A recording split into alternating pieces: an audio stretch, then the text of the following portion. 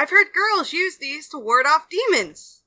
I've been hearing some noises in my room, so let's see if it works. Later. Update. My mom told me what they're really for. I was warding off the wrong demons! I don't even have those demons to ward off!